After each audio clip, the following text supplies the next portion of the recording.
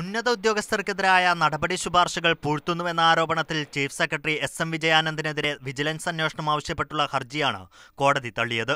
പരാതിയിന്മേൽ വിജിലൻസിന്റെ നിലപാട് കോടതി നേരത്തെ ആരാഞ്ഞിരുന്നു. അഴിമതി കേസിൽ ഉൾപ്പെടെ പ്രതി ചേർക്കപ്പെട്ട അഡീഷണൽ ചീഫ് സെക്രട്ടറി ടോം ജോസിനെതിരായ നടപടി ശുപാർശയുൾപ്പെടെ ചീഫ് സെക്രട്ടറി പൂഴ്ത്തിയെന്ന് പരാതിക്കാരൻ കോടതിയിൽ ആരോപിച്ചിരുന്നു. ഇതേ തുടർന്ന് ടോം ജോസിനെതിരായ ഫയലും വിജിലൻസ് ഡയറക്ടർ ചീഫ് സെക്രട്ടറിക്ക് നൽകിയ നടപടി ശുപാർശകളും കോടതി വിളിച്ചുവരുത്തി പരിശോധിച്ചു. അഴിമതി നടത്തിയെന്ന് തെളിഞ്ഞിട്ടും ടോം ജോസ് സർവീസിൽ തുടരുന്നത് എന്തുകൊണ്ടെന്ന്